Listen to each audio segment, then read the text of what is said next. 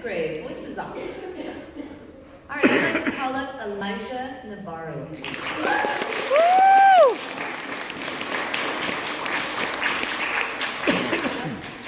Elijah is one of those students who goes the extra mile on his assignments.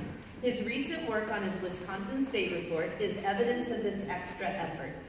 Elijah not only wrote a thorough and, thorough and interesting sections of his report, he also created impressive extras like a brochure and crossword puzzle.